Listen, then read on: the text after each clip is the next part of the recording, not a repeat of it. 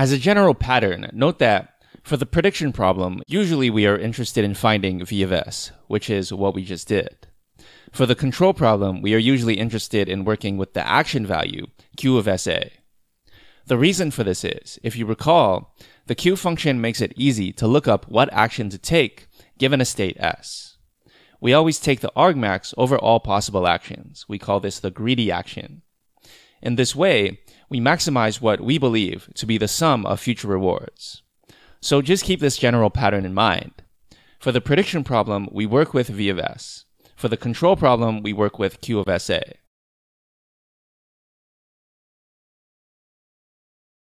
In order to understand how to apply the Monte Carlo approach to the control problem, we first have to understand the principle of policy iteration and policy improvement. Let's consider two basic facts.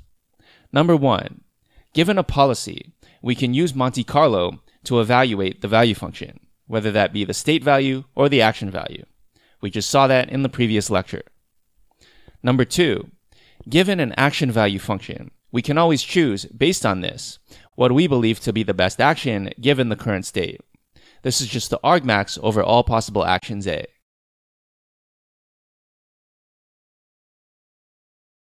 Well, it turns out that these two facts are interdependent.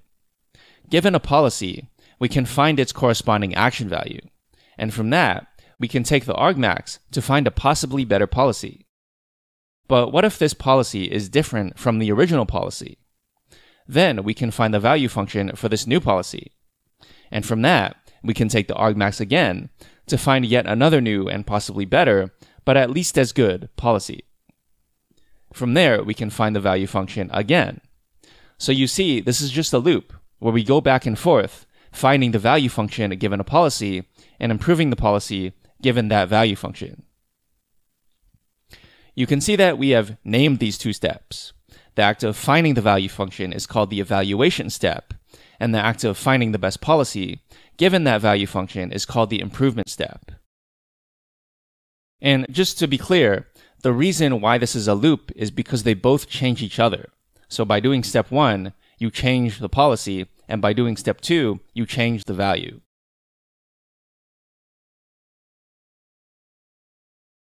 It's been proven, although we won't discuss it here, that performing these steps leads to a monotonic improvement in the policy. Therefore, if we just keep doing this process, eventually we will end up at the optimal policy.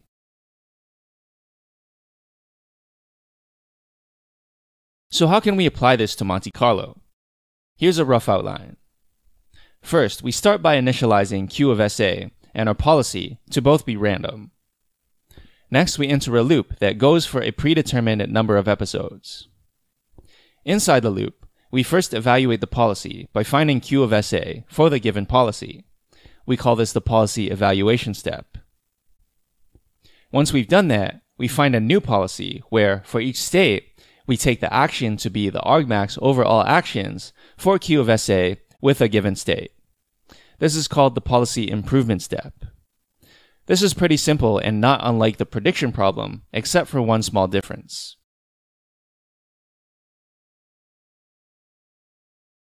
Note that earlier, when we discussed the evaluation problem, we discussed how to find V of S. But now we have to find a Q of SA. In order to find Q of SA, where we evaluate our policy, we need to keep track of not only the states and rewards, but also the actions. So we're going to record triples of states, actions, and rewards. So S1, A1, R1, S2, A2, R2, and so on. Here's what the pseudocode for the evaluation step would look like. As you can see, this is pretty similar to calculating V of S, except when we store the sample returns, we index the dictionary by both state and action.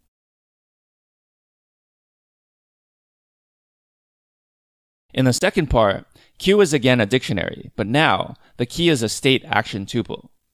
Other than that, the process is exactly the same. We still calculate the sample mean of each list of returns for a given key.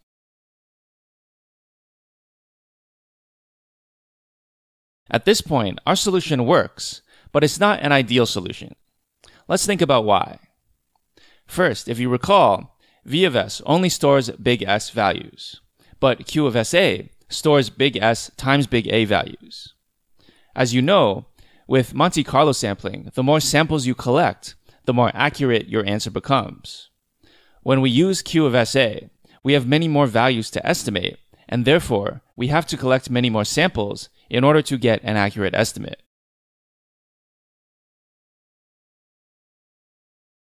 But there is a second problem. Each policy evaluation step is a Monte Carlo estimation, which means that we must calculate a large number of samples.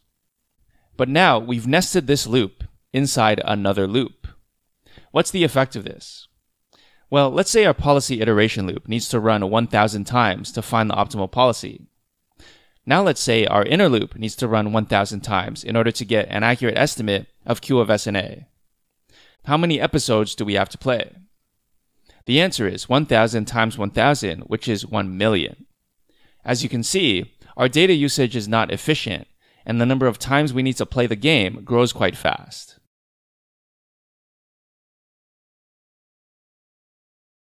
A better solution is to use what's called value iteration. At first, this approach may seem kind of wacky, but in fact, it's been shown to work. The idea is this for the policy evaluation step, instead of playing multiple episodes, in order to get a good estimate of the value of our policy, we are only going to play one episode. After playing this one episode, we'll get a series of states, actions, and rewards from which we can calculate the corresponding returns. From that, we can loop through each state, action, and return and use the latest sample of the return to update Q of SNA. Now you'll notice that I've just put some pseudocode here, update Q of SNA, but I haven't told you exactly how we're going to do that. We'll be discussing this shortly. The important thing to note right now is that we'll only keep a single running copy of Q of SNA. The next and final step is the same as before. We update the policy by taking the argmax over Q for a given state over all actions.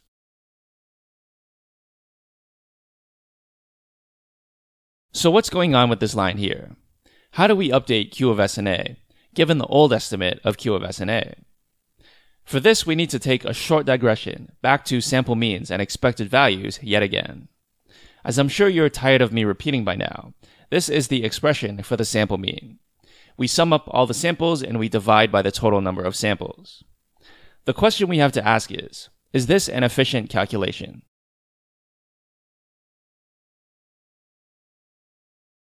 The answer is no. Summing up n values is O of n. The more values we store, the more time it takes to calculate. This is not good. So the question becomes, is there a way to reduce the time it takes to calculate the sample mean every time I collect a new sample? To see how this is done, let's express the sample mean in terms of the previous sample mean and the latest sample. Before we move on, please make sure you can derive this yourself on paper. In the derivation you see here, x bar n means the sample mean using the first n samples. Thus, x bar n minus 1 means the sample mean using the first n minus 1 samples.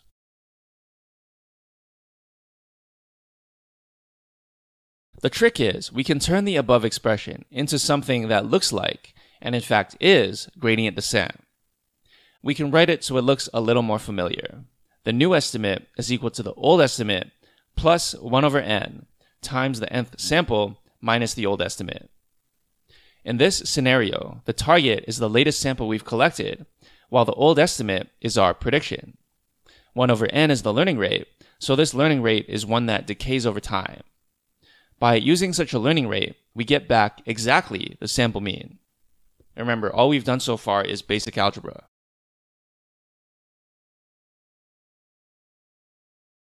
Here's what it would look like if we translated it into our Monte Carlo reinforcement learning code to update Q. The new estimate of Q of SNA is updated as the old estimate plus 1 over n times the latest return minus the old estimate. Just note that the equal sign here means assignment. We're not saying that both sides are equal. The left side is the new estimate, and the right side holds the old estimate. We just haven't bothered to subscript them. However, we are not done yet because we're going to make yet another modification to this.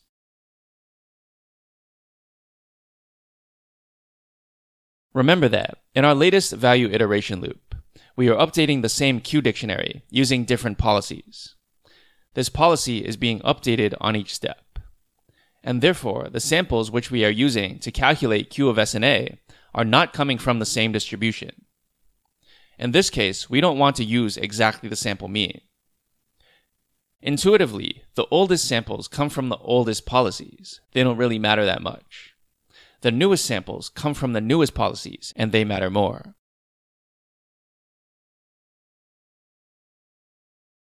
The key is to use a constant learning rate instead of one that decays over time. Doing so gives us what is called the exponentially decaying average.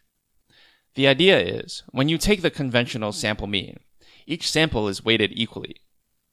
As we said, we don't want that because old values come from old policies, and so they come from a different distribution than the one we are now interested in. On the other hand, the exponentially decaying average, weights each sample in an exponentially decaying fashion. The most recent sample matters most, and the weights for each sample decay exponentially as you go backwards in the order they were collected.